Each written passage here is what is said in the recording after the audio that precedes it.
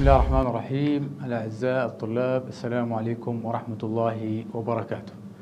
نلتقيكم اليوم إن شاء الله في مقرر إدارة المشتريات والمخازن للمستوى الثاني. في البدء لابد علينا أن نتكلم سريعا عن أهداف المقرر. يهدف مقرر إدارة المشتريات والمخازن إلى تعريف الطالب بماهية وأهداف المشتريات إلى جانب التخطيط والإجراءات والتفاوض للعملية الشرائية. أيضا يهدف هذا المقرر إلى التعريف بالأسس الاقتصادية لسياسات الشراء واستراتيجية الشراء بالجودة والكمية المناسبة. أيضا استراتيجية اختيار المورد وتحديد السعر والشراء بالوقت المناسب. كذلك يهدف هذا المقرر إلى أخذ المفاهيم الهامة في المخزون وتصميمه ومن ثم ترتيبه وإجراءات وتقييم المخزون ثم سنعرج إلى إدارة النقل. في لقائنا التعليمي الأول والذي بعنوان المدخل إلى إدارة المشتريات يهدف هذا اللقاء التعليمي الأول إلى التعرف على مفهوم إدارة المشتريات ثم التعرف على المقصود بوظيفة الشراء وعناصرها وأهدافها ثم التعرف على التغيرات البيئية وأثرها على الشراء. والتوقعات المتبادلة بين بين الشراء وإدارة المنشأة. وأخيرا سنتعرف أيضا على الجوانب التنظيمية المتعلقة بالشراء. لندخل في المقدمة وبالتالي فإن وظيفة الشراء وهي من الوظائف الهامة في المنظمات مثلها مثل بقية الوظائف الأخرى كالإنتاج وكالتسويق والمخازن الذي سيأتي معنا لاحقا. وبالتالي فهو نشاطا جوهريا يتواجد في جميع أنواع المنظمات سواء كانت المنظمات تجارية صناعية. ومع التطور العالمي والمنافسة الكونية والتغيرات السوقية والاهتمام بإنتاجية المنظمات أصبح وظيفة أساسية لها جوانبها التخطيطية والتنظيمية والرقابية ونشاطا مستقلا. وبالتالي فلا يمكن أن تستقيم العملية الإنتاجية إلا بوجود مشتريات لإتمام العملية الإنتاجية. كذلك تهدف المشتريات إلى تأمين كافة الاحتياجات الخاصة بقطاعات المنظمة من أقسام وإدارات ومن المواد والآلات والأجهزة والمعدات والخدمات والأعمال الإنشائية بالكميات والنوعيات المطلوبة. كذلك من ضمن الأهداف المهمة في إدارة المشتريات والمخازن أننا نؤكد دائما على الوقت المحدد لوصول المواد والأجزاء المهمة لإتمام العملية الإنتاجية وبالتالي فإن أي تأخير في هذا المجال قد يعرض المنشأة إلى خسائر كبيرة وبالتالي فالوقت المحدد وأيضا السعر المناسب هي من ضمن الأولويات المهمة في عملية الشراء. أيضا بشكل عام فإن أغلب مفكري التجارة وإدارة الأعمال يركزون على مصطلح مفهوم إدارة المشتريات والمخازن. مع أنه هذا المفهوم يرتبط أيضا بثلاثة مصطلحات أخرى أو ثلاثة أنشطة رئيسية أخرى في نفس مفهوم إدارة المشتريات والمخازن. فقد يطلق أيضا إدارة المشتريات إدارة المخازن مراقبة المخزون وقد يطلق أيضا لفظ إدارة الإمداد. أولا ما مفهوم إدارة المشتريات؟ إدارة المشتريات ما هي إلا إدارة متكاملة ومسؤولة عن التخطيط والحصول على كل احتياجات المنظمة من كل الأصناف المختلفة وتخزينها والتصرف فيها والرقابة عليها وهذا طبعا يقودنا إلى وظيفة الشراء. فوظيفة الشراء ما هي إلا وظيفة مسؤولة عن إمداد المشروع بالمواد والآلات. وكما قلنا فإن مصطلح المشتريات ما هو إلا مصطلح يطلق على إدارة الإمداد. وبالتالي إمداد وتجهيز المواد والأجزاء والمستلزمات الإنتاجية ووصولها في الوقت المناسب. ومن متطلبات وظيفة الشراء لابد أن ترتبط بالكمية ترتبط بالوقت ترتبط بالجودة وترتبط بالسعر وأيضا المكان. إذا لدينا خمسة أركان أساسية تتعلق بها وظيفة الشراء. وقت وجودة وسعر ومكان والكمية المراد الوصول إلى استيرادها أو وصولها إلى مخازن الشركة أو المؤسسات بشكل عام. وأن أي إهمال سواء بتأخير الإنتاج وارتفاع التكاليف وانخفاض في الجودة سيؤدي بطبيعة الحال لسوء سمعة المنشأة وبالتالي عدم التعامل معها مستقبلا. قد عرجنا سريعا في المقدمة عن أهداف إدارة المشتريات لكنه بالمجمل بالمجمل نقول أن أهداف إدارة المشتريات آه، تتركز في المحاور الآتية. المحافظة أولا على إمداد إدارة الإنتاج وكما قلنا سابقا لا يمكن إتمام أي عملية إنتاجية إلا بما هو موجود لدينا من مواد خام ومستلزمات إنتاجية تساعد أو تدخل في العمليات الإنتاجية. آه، كما تقدم معنا في إدارة الأعمال فإن لدينا آه، مدخلات ولدينا عمليات ولدينا مخرجات. فبالتالي من ضمن العناصر الأساسية في إدارة المشتريات هي آه، المدخلات. والمدخلات هذه هي المواد الخام آه، الخامات بشكل عام آه، الأجزاء سواء كانت أجزاء نصف مصنعة أو مصنعة بشكل كامل وبالتالي جميعها تدخل في عمليات إيش؟ عمليات الإنتاج ثم العمليات المعتادة للإنتاج وثم تخرج لنا السلعة بشكلها الكامل.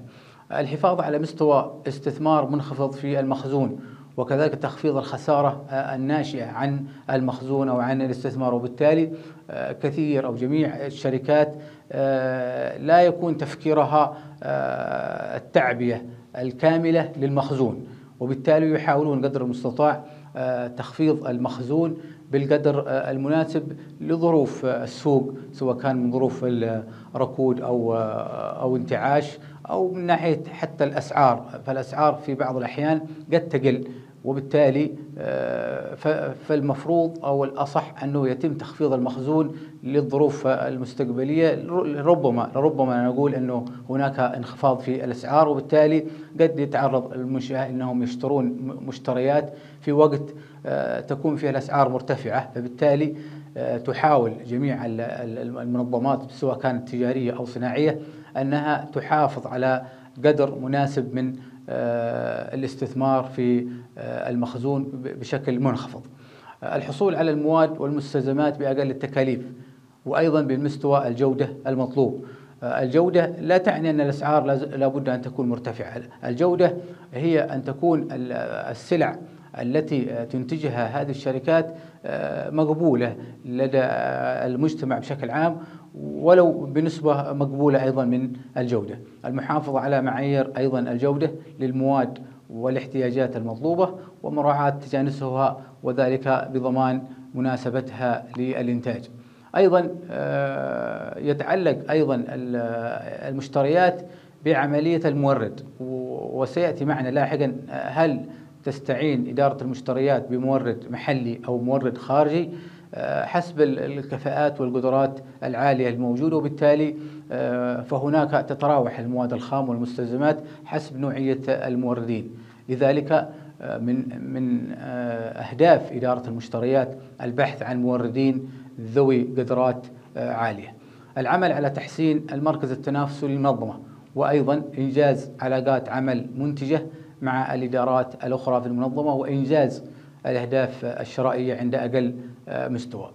آه، أيضا منع التكرار لتفادي تراكم الأصناف دون الحاجة لها وهذا آه، تكلمنا عنه وقلنا المفروض أننا نحافظ على قدر مناسب من المخزون بحيث لا نتعرض إلى مشاكل الإسراف أو العادم أو أو التلف في بعض المخازن وبالتالي تحسب حسابا أغلب الشركات لهذا الجانب.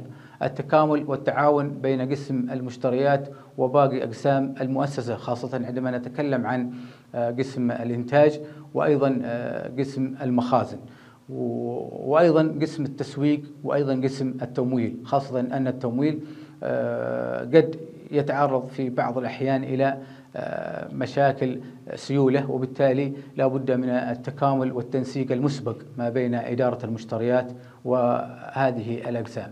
أيضا ضمان التوثيق والتسجيل لكل عمليات الشراء حتى يكون عملنا نظامي وليس مجرد أننا نقوم بعمليات الشراء دون أي وثائق أو سجلات تحتفظ بها المؤسسة وكما قلنا في إطار الحديث أنه لا بد من عمليات الإدخال المخزني لكل عملية شرائية. كذلك زيادة كمية المعلومات وفي الوقت نفسه تقليل نفقات المخزون وتشغيل العمليات ثم دعم المركز التنافسي للمنظمة وقدرتها على تحقيق الأرباح وأخيرا من ضمن أهدافنا تحقيق المتابعة والرقابة على سياسات وإجراءات الشراء بهدف تطويرها. التقييم الشراء مطلوب في كل مرحلة من مراحل عمليات الشراء وبالتالي على الأقل نخرج باقل كلفة واقل وقت واقل مجهود. من العناوين المهمة والتي يهتم بها أو تهتم بها إدارة المشتريات هي المسؤوليات لهذه الإدارة. فلدينا سياسات مناسبة للشراء وهي سياسة الشراء بكميات قليلة سواء كانت قليلة أو متوسطة أو كبيرة أو سياسات الشراء بحسب الحاجة. لأن إحنا كما قلنا سابقا لا نشتري أي مشتريات أو أي أو أي مواد إلا بعد الرجوع للجهات أو الإدارات الطالبة لهذه المواد. ومن ثم تقييمها والغرض من من شرائها. أيضا سياسة الشراء مقدما للتخزين. قد ربما تكون أيضا عمليات الشراء ليست بالضرورة أن تدخل في عمليات إنتاجية. فربما تكون من أجل المضاربة أي بمعنى إعادة بيع هذه المواد إلى السوق مرة مرة أخرى. أيضا السياسة المتعلقة بمصادر الشراء وهل تعتمد مثلا على مصدر شراء واحد أم عدة مصادر؟ لأن أنا نتكلم فيما سيأتي لاحقا معنا عن موضوع موضوع كيفية عملية الشراء فهل هل تكون هذه عملية الشراء بالمناقصة أم بالمنافسة أو عبر اللجنة أو عبر الأمر المباشر. أيضا من ضمن المسؤوليات لإدارة المشتريات القيام بالدراسات والبحوث المختلفة مثل التنبؤ وجمع المعلومات عن الأسواق والحالة السوقية وأيضا الحالة التنافسية في السوق لأنه أغلب المنظمات لا تعمل وحيدة في المجال في مجال السوق وإنما لدينا مؤسسات كثيرة وبالتالي لا بد من القيام بالدراسات والبحوث المختلفة. أيضا لدينا دراسات اتجاهات أو مستويات الأسعار والأسعار أيضا مهم جدا أن أن نسلط الضوء عليها حتى نقوم بعمليات الشراء في على أقل مستوى من هذه الأسعار وبالجودة طبعا المناسبة. أيضا كذلك دراسة كمية المواد في السوق ومستويات الجودة لها أيضا ومن ثم دراسة البدائل والمستلزمات البديلة فيما إذا لو لم تتوفر بعض الأصناف أو المواد الخام فهناك لدينا مجال أنه يتم دراسة البدائل الممكنة في حال عدم وجود بعض المواد في السوق. من ضمن أيضا مسؤوليات عمليه الدراسات والبحوث مراجعة طلبات الشراء الواردة لها من وحدات المنظمة. فبعض الأقسام تبالغ في طلباتها خلال فترة زمنية قادمة مما يؤثر سلبا على أداء المنظمة ككل.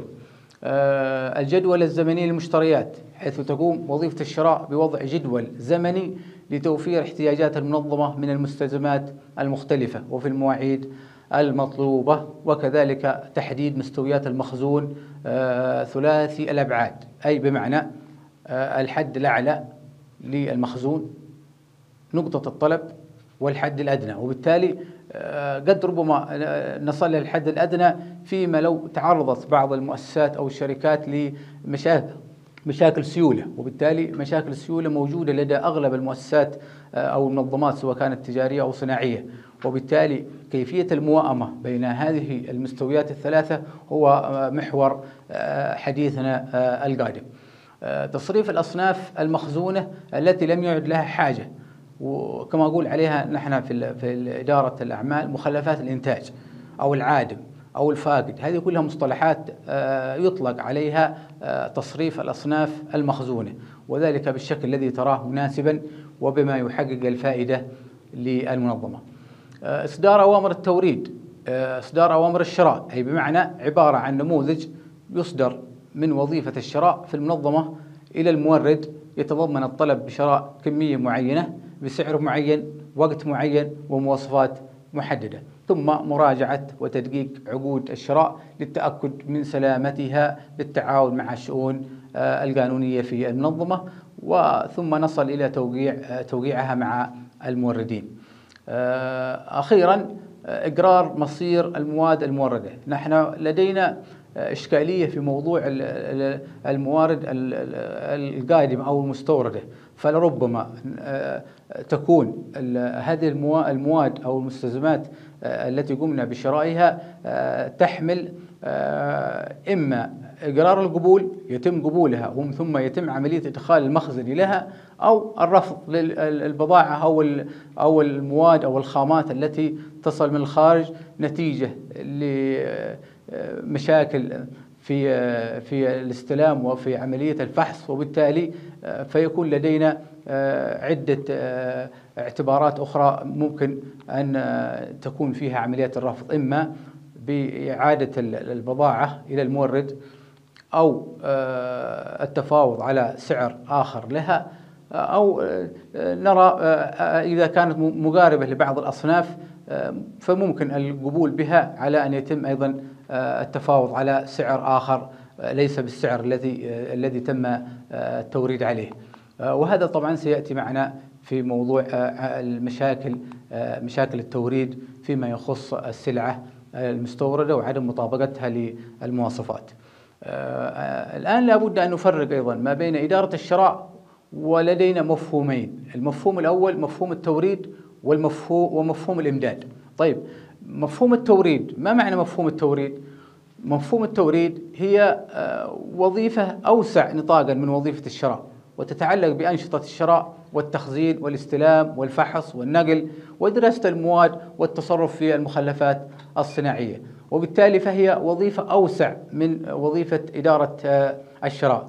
آه، بينما آه، مفهوم إدارة الإمداد أو يطلق عليها فيما أو يطلق عليها فيما بعد والذين أطلقوا عليها مفكري إدارة المشتريات على أنها إدارة سلسلة التوريد. أي إدارة الإمداد ما هي إلا إدارة تسمى بإدارة سلسلة التوريد. سلسلة التوريد هذه ما هي إلا مجموعة أنشطة أو وظائف تتابع المنظمة مع الموردين للمواد والاحتياجات ويمتد آه، نطاقها حتى العميل النهائي. وبالتالي فسلسلة التوريد أوسع في نطاقها من مفهوم التوريدات الذي آه، ذكرناه قبل قليل. وتتمثل سلسلة التوريدات في التسهيلات التي يكون آه، منها المخازن المصانع مراكز التشغيل مراكز التوزيع. أما الأنشطة والوظائف في هذا المفهوم فتشمل أيضا أنشطة التوريدات والشراء والتنبؤ وإدارة المخزون وتطوير المنتجات وتنظيم الموردين وغيرها من الأنشطة الأخرى. عناصر المشتريات آه، تتمحور في آه، عدد آه، من العناصر منها أولا المواد. فقبل أن تبدأ بأمر الشراء لابد من معرفة المادة التي تريد شراءها وبالمواصفات والمقاييس التي تحددها. أيضا السعر. السعر المعقول الذي يتحقق معه جودة معقولة وسعر يناسب طبيعة عمل الإنتاج. أيضا لدينا الجودة مقياس للتمييز أو حالة الخلو من العيوب والنواقص عن طريق الالتزام بمعايير قابلة للتحقق لإنجاز تجانس في الناتج ترضي متطلبات محددة للمستخدمين أيضا لدينا الكمية وهنا يتم الشراء بالكمية التي يطلبها قسم المخازن عن طريق عمليات التوقعات المجدولة. آه، لدينا الوقت ويعتمد سرعة المورد على توفير المواد في الوقت المناسب لأننا نتكلم على عمليات إنتاجية. فأي تخلف أو أي تأخير عن الوقت المحدد قد يعرض الشركة لخسائر آه، كبيرة. لدينا أيضا آه، من هو المورد الذي ممكن أن تتعاقد معه تتعاقد معه الشركة الصناعية أو الشركة التجارية في توريد موادها وبالتالي لابد من التركيز على موضوع المورد والتفاوض آه، معه على الأسعار المناسبة في ذلك. لدينا أيضا النقل والنقل قد ربما يكون على ثلاثة أنواع. فلدينا نقل بري ولدينا نقل جوي ولدينا نقل بحري. والبحري قد يشمل أيضا النهري بشكل عام ولكنه بشكل عام نقول عليه بحري وبالتالي أيهما أفضل آه، طريقة لإيصال مشترياتنا بأقل آه، بأقل كلفة ووصولها في الوقت المناسب. آه، النقل البري يتعلق بالمورد المحلي. في الغالب تتعلق بالمورد المحلي. أما النقل الجوي والنقل البحري فالغالب يكون عندما يكون لدينا آه، مورد خارجي. وبالتالي آه، فكل وسيلة من وسائل النقل لها مسبباتها ولها عناصرها ولها أمور سيأتي معنا في اللقاء الأخير. مكان التوصيل أيضا آه، يجب التأكيد على أن الوجهة على ماهية الوجهة النهائية.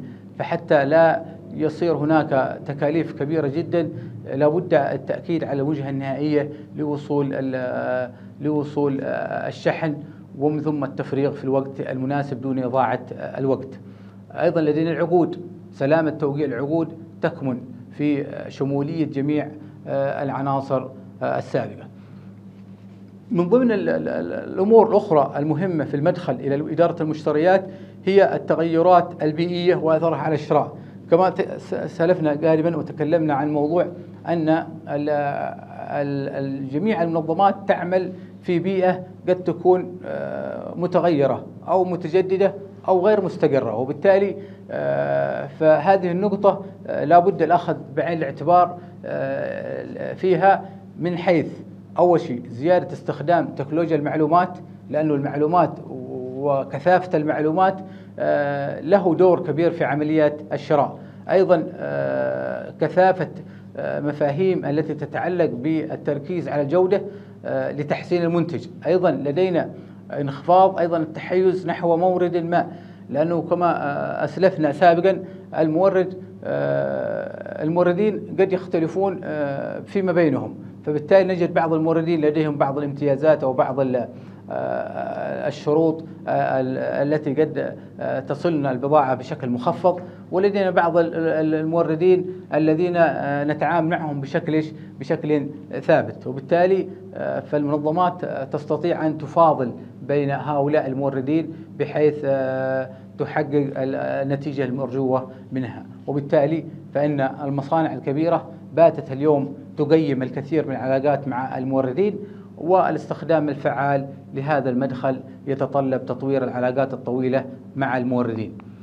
أيضا زيادة استخدام التفاوض. التفاوض الشرائي مهم جدا وبالتالي آه، لابد أن تتم آه، عملية التفاوض في بيئة آه، تفاوضية جيدة بحيث تؤتي أكلها من هذا من هذه العملية التفاوضية. لدينا أيضا زيادة استخدام التحليل التنافسي. فكما قلنا سابقا لا نعمل وحيدا في في السوق. إنما هناك كثير من الشركات وكثير من المصانع تعمل في الأسواق وبالتالي لابد من الإحاطة بهذا المفهوم. لدينا أيضا زيادة التطور وظهور ما يعرف بالإنتاج المرن. وبالتالي آه، يحسن قدرة المنظمة على الاستجابة لحاجات آه، المستهلك أيضا زيادة التعامل بالشراء وهو ما يعرف بنقل التكنولوجيا وهذا ما سيأتي معنا آه، لاحقا.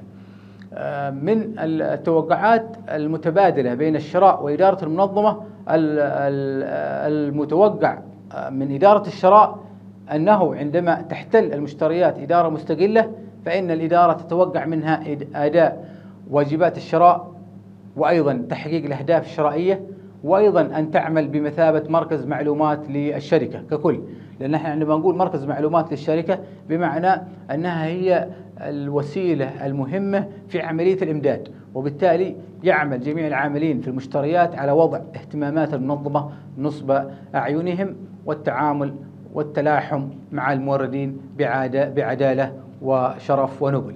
أيضا توقعات الشراء من الإدارة من خلال التحديد الواضح لإدارة المشتريات وعدم التداخل مع الإدارات الأخرى آه، لأن التداخل قد يولد بعض الإشكاليات في العمل التجاري أو العمل الصناعي وبالتالي لا بد من الدعم والتأثير لسياسات الشراء عبر الشركة من أجل تقديم التسهيلات الفنية والمادية للأعمال الشرعية كذلك تمثيل الشراء في اتخاذ القرارات والإنصات بعقل منفتح لمقترحات الشراء لأنه التمسك بالآراء لإدارة المشتريات وحدها قد يعرض الشركة لمشاكل كثيرة. لذلك لا بد من الإنصات والاستماع لباقي الإدارات العاملة الأخرى سواء كان في مجال الإنتاج في مجال التسويق في مجال التمويل وجميعها. كما قلنا أو أسلفنا سابقا ما هي إلا عمليات مترابطة ومتكاملة ومنسقة فيما بينهم البين.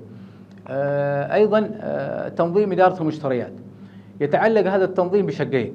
الشق الأول شق مكاني وهو وهي بمعنى أن إدارة المشتريات في أي إطار في أي إطار وما هي الإدارات التي تعمل معها وبالتالي آه، سمي الشق الأول في التنظيم الإداري أو التنظيم إدارة المشتريات بالمستوى الإداري أو المكانة.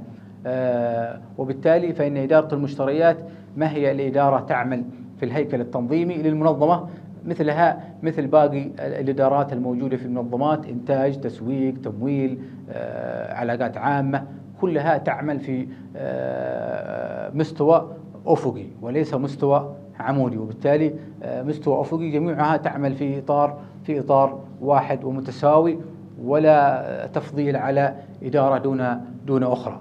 أيضا لدينا التنظيم الداخلي إدارة المشتريات من حيث التنظيم والعوامل المؤثرة على التنظيم الداخلي وأسس إعداد هذا التنظيم وصلاحيات إدارة المشتريات. آه، لدينا أيضا آه، ما يسمى بالمركزية واللا مركزية في الشراء وأيهما أفضل المركزية آه، تظهر آه، عندما يتم تجميع وظيفة الشراء في مكان واحد ويسأل عنها فرد واحد ويصبح هذا الشخص مسؤولا عن الأداء الناجح لعمل إدارة المشتريات. وبالتالي المركزية آه، قد يتم تفضيلها لأنه حتى لا تتم العشوائية في عملية الشراء فيفضل أن تكون هناك مركزية لعملية الشراء أشخاص محددين إدارة محددة هي المسؤولة عن عن عمليات الشراء. أما اللامركزية فتظهر عندما يترك للإدارات الأخرى الحق أن تتدخل في عملية الشراء وبالتالي قد ربما تحصل هناك مشاكل كثيرة في في هذا المجال. آه، آه، أيضا آه، لماذا نقول أن المركزية أفضل من اللامركزية؟ أول شيء لأن القضاء تعمل على القضاء على الازدواجية في في جهود الشراء والازدواجية قد تكلف الشركة مبالغ كبيرة جدا.